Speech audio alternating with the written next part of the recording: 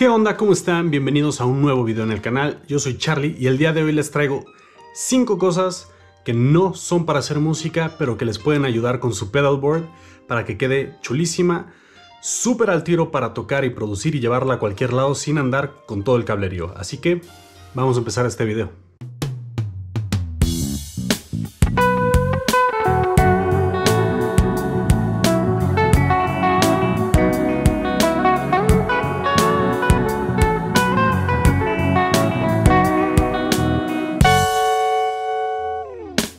Cuando vamos empezando en nuestros viajes de crear nuestras primeras pedaleras, usar los primeros pedales, empezar a entender, aunque sea un poco confuso, qué son los miliamperes, el voltaje, cómo alimentar nuestros pedales y cómo conectarlos entre ellos, pues puede ser algo abrumador. Y el propósito de este video es darles a ustedes 5 herramientas que aunque no son para hacer música, o al menos no están intencionadas para eso, pueden servirles a ustedes para mantener su equipo listo y preparado para que ustedes hagan música con ese equipo ya listo. Entonces vamos a empezar con esto, las Power Supplies. Cuando iniciamos probablemente empezamos con uno o dos pedales y no hay tanta bronca. Supongamos que empezamos con uno y tenemos un eliminador clásico o una batería de 9 voltios, dependiendo del tipo de pedal. Eh, suponiendo que no es un pedal que consume más voltios, es lo más común, ¿no? 9 voltios con su propio eliminador y listo. No hay nada de malo en esto porque es una fuente de poder aislada y única para ese pedal pero rápidamente se pueden dar cuenta que empezamos a ahondar y a tener 2, 4, 5, 8 pedales y empezamos a expandir esto, un eliminador sencillo de una sola salida, con un daisy chain. Y muchas veces es suficiente, yo tengo este de 8 y tengo otro de 5, a veces nos salva la vida, a veces es buenísimo para los rigs pequeños, en especial cuando son pedales análogos y solamente análogos, porque compartir energía entre pedales análogos no suele ser tan problemático como compartir energía entre pedales análogos y digitales. Por eso los daisy chains rápidamente se convierten en una parte a sustituir y reemplazar de una pedalboard. La solución, las power supplies. En mi canal pueden ver un unboxing y medio review de esta Hyrie Power Supply, que es chiquitita, la encuentran en Amazon muy simple, muy barata, lo menciono en el video, lo único malo es que el, cable de luz no tiene tierra. Fuera de eso funciona muy muy bien y tiene bastantes salidas como pueden ver para alimentar muchos de sus pedales e incluso compartir energía entre algunos de ellos. Eh, yo por ejemplo tengo una salida a mi afinador, el Boss TU3, y del mismo afinador saco energía para otro pedal por la capacidad que tiene el pedal de hacer eso. Entonces básicamente tengo son 8, 9, entre 9 y 10 pedales en mi pedalera dependiendo del setup que estoy usando. Número 2 tenemos los cables a la medida. Muchas veces cuando empezamos con 2, 3 pedales, acostumbramos comprar patch cables sencillitos ya armados de este típico largo sencillo entre pedales. No está mal, pero cuando empezamos a hacer nuestras pedables más grandes o usar más pedales en una tabla o en una pedalera normal de pedal train, de temple boards, de lo que sea, nos topamos con el problema que un pedal está en una esquina y queremos conectarlo al primer pedal en la señal, por alguna razón nuestro rauteo se complica, los cables a la medida son una excelente, excelente solución. Hay paquetes como uno de Dadario o Diadario, no recuerdo cómo se pronuncia, que nos permite hacer cables a la medida sin la necesidad de saber soldar.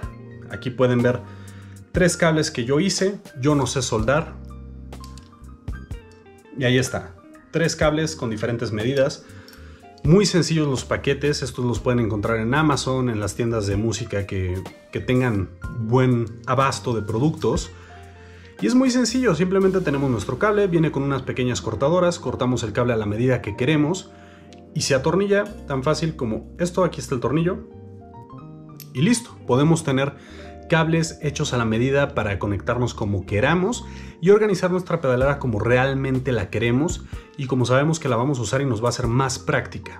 En el tercer lugar tenemos páginas para planear sus pedaleras, entre ellas Pedalboard Planner de Pedal Train y Pedal Playground ambas.com, les dejo los links allá abajo. Estas páginas nos pueden ser muy útiles, ya sea porque queremos planear bien nuestro layout de los pedales o simplemente tenemos 3-4 pedales, queremos comprar unos 3 o 4 más, sabemos las medidas, pero queremos adquirir de una vez una pedalera y no sabemos de qué dimensiones. Entonces podemos ver la pedalera también que nos convenga más, que nos sirva mejor y que nos permita hacer el layout que queremos específicamente con los pedales que tenemos y que planeamos adquirir en un futuro o que tal vez ya están en camino.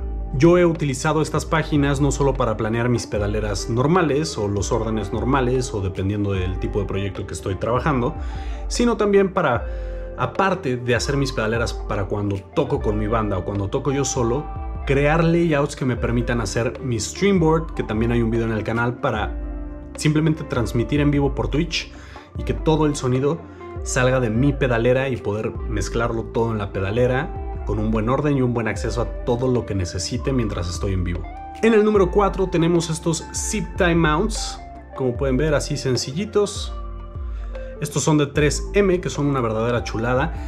Y esto es para el manejo de cables. Esto les puede servir obviamente más que solo la pedalera, pero es un excelente, excelente accesorio para sus pedaleras y hacer sus, builds, sus construcciones de pedaleras les permite organizar los cables, saber qué cable va dónde, que no tengan un cablerío tocando la tierra y que puedan tener algún tipo de interferencia y simplemente tenerlo todo más limpio.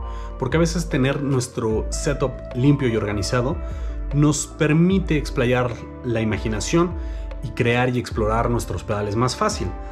Vienen en bolsitas así de 100, 200, 300, no son caros y simplemente deben comprar estos, comprar sus cinchos o zip ties, ponerse a organizar su pedalera, pegarlos y dejar los cables donde deban ir y no deban moverse. Y en el número 5 tenemos un tip que tomo de Mason Marangella de Vertex FX en California, que aparte pueden ver en su canal de YouTube.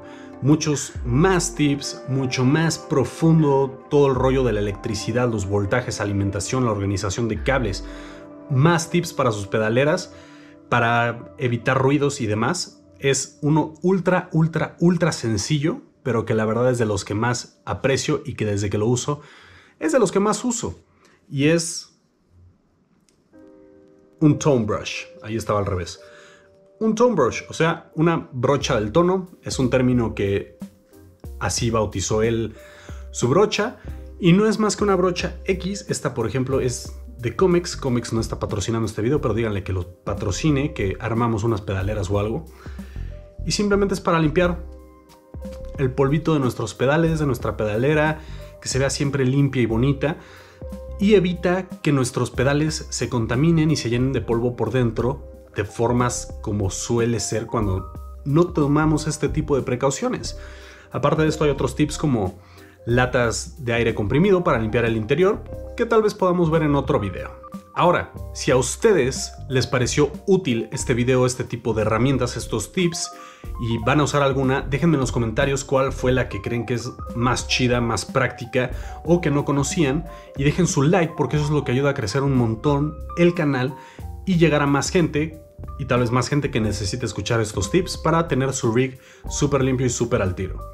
Yo les doy las gracias por ver el video, no olviden que abajo están mis redes sociales por si quieren contactarme con alguna duda, pregunta o algo, lo que sea. Mi Twitch, la comunidad de Discord si quieren compartir su música y sus proyectos personales. Y Buy Me a Coffee para que me inviten un cafecito. Nos vemos en el próximo video y sigan sonando.